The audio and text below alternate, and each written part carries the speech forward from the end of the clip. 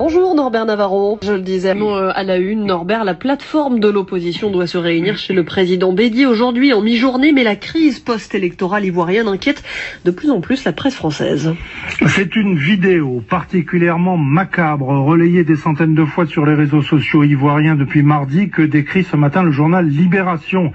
D'un coup de pied, quelqu'un shoot avec force dans la tête ensanglantée de l'homme décapité qui gîte à terre.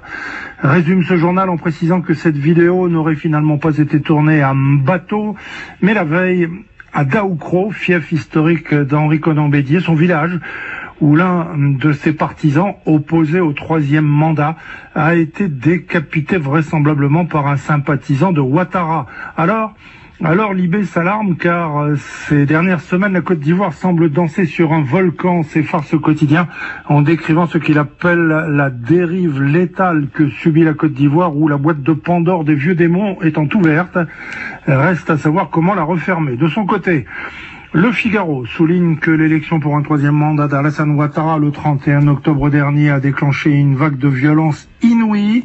Les affrontements politiques et interethniques se multiplient. Des scènes de décapitation sont rapportées. L'ancienne colonie française est devenue incontrôlable.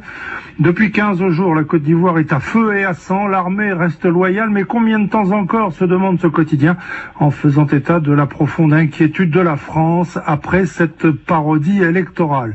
En Côte d'Ivoire, la démocratie reste introuvable, déplore le Figaro, en évoquant l'élection présidentielle du 31 octobre dernier comme un scrutin tronqué, dénoncé par la plupart des observateurs internationaux indépendants. Le taux de participation revendiqué par le pouvoir, 54%, serait en fait inférieur à 10%, et non encore le Figaro. Coup de massue